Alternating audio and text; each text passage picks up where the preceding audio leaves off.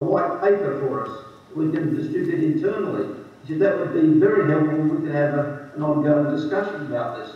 But that's how the, uh, the initial report got published in 1987. And uh, It's supposed to be a white paper, but Flinders published it.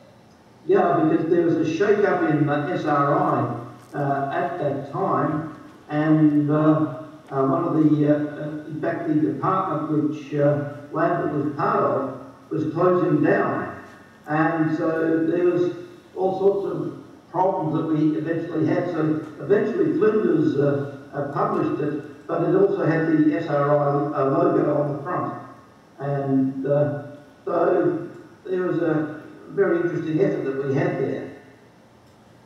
Have you been able to maintain a continuing relationship with uh, scientists at Flinders or, or, or any other institution? Okay, with uh, Flinders University, the uh, person I was with there was Trevor Norman. He eventually had to leave. Uh, uh, there was a, a problem that uh, uh, came up between him and uh, the dean in the, the faculty there, um, and eventually had to leave, but that was rather unfortunate. So I lost contact with Flinders University, and because Lambert Dolphin's term had basically expired at SRI. I've lost contact with SRI as well, so basically I have no university contact. I've uh, been working essentially on my own uh, ever since that I time. have to boast on him a minute. He was offered an honorary doctorate last year and he refused it. And he just said, well, either my work stands on its own or it doesn't. Yeah, the problem was the honorary doctorate was being offered by a university that didn't have the science to make and that, that would make the doctorate uh, totally, uh, totally invalid, so it wasn't worth the, wasn't worth the effort. Thank you. Is that it for you? Okay. Any more questions for him, Barry and the team? Okay. Um, I guess the last thing I'd like to ask is, um, Barry, what you uh, have made this series and have uh, done a monograph. What what is the future work? What what what do you see ahead for you right now? Wait, I'm gonna answer this. I, I don't mean to embarrass Barry, but this is it. And that's because Barry has an inherited disorder called porphyria, and it's getting the best of him now. So this will be the last thing that he's done. He and Calvin just finished a series on his geology and astronomy, and I think that's in process of getting finished now. Absolutely. And um, that's kind of the bucket list finished. And then I get to, I appreciate every day I've still got with Barry. I don't know how many are left, but um, so I think this is kind of special that he was able to be here with me this way. He couldn't, he's not strong enough to fly to Florida anymore. Sure. So this, this is it. Um, we answer emails, and um, when people want to do a Skype conference or a conference like this, we're available. But my dearly beloved husband is um, getting weaker every day and sleeping a lot, and he goes out in the sun now and his skin bleeds. So, um, for those of you who, who are prayers, we covet your prayers. Thank you.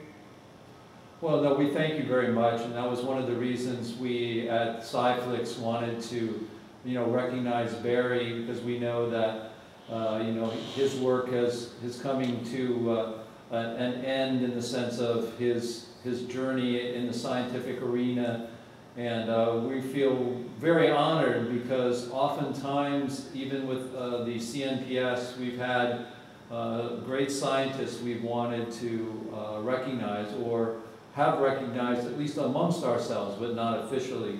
And uh, Greg Volk and myself have taken upon us to try to do those tasks. It's often quite sad where we'll see someone leave us before they've been recognized. And I think at least where we can, that's one of the reasons we have SciFlix and not just the uh, scientific award because this is also an area I think that's very important, becomes more and more important because in the future, we look at it today and people here see it and people around the world are seeing it you know, data is data, good work is good work, and that's, that's um, something that will never change.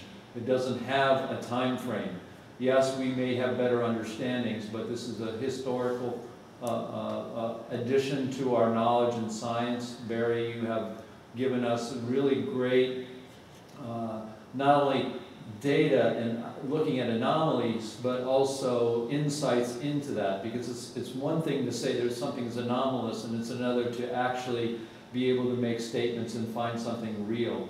I think it's pretty interesting. My father, who's uh, approaching 80, uh, said something to me in his engineering attitude, and I think, Barry, I think you probably agree with it. He said, You know, Dave, the universe doesn't have any anomalies.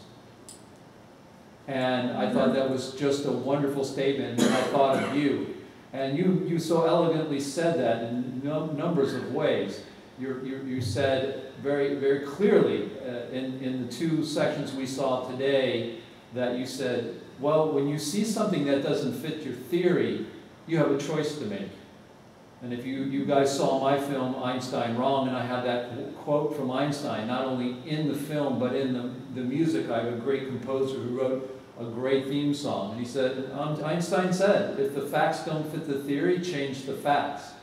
And uh, I, think, I think what you have given the world is uh, going to be way beyond your lifetime, our lifetime. So, uh, and what every day any of us have is, is, a, is a great gift. And we, we really appreciate your time. And we, we hope in our humble way, even though the CNPS is really the NPA in reincarnate and we don't have as many people here, my mom and dad called people from all around the 200 members and they were very supportive of what was going on and especially um, I will tell you personally that Nick, Nick uh, um, Nicholas Percival was the one I tasked with really going after and looking at your body work, and he was just, he's a tough cookie. He doesn't like a lot of stuff. He's a pretty critical guy, but he said this was well, well worth it. And, and I asked him today, I said, what, what should we show? We can't show a whole DVD. You know what his answer was?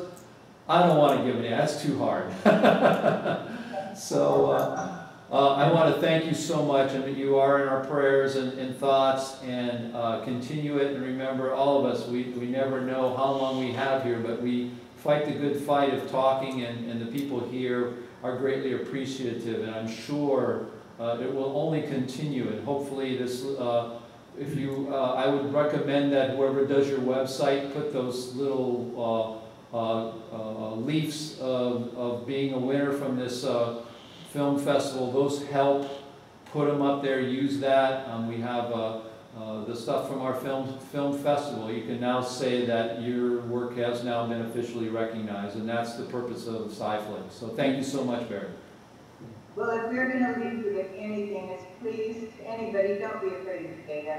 Yeah. Just don't be afraid of it. Absolutely. If I could add something that after working months and months on various stuff and getting to know it quite well, and having that two years passed since then, the new discoveries in the universe and the new tools to really evaluate what's out there has proven to me that Barry's on the right track and what he has done will be something that will last forever. We will use it for a long time. Yeah. Thank you very much. Yeah. Really deeply appreciate all of your comments. Thank you so much. Well, thank you.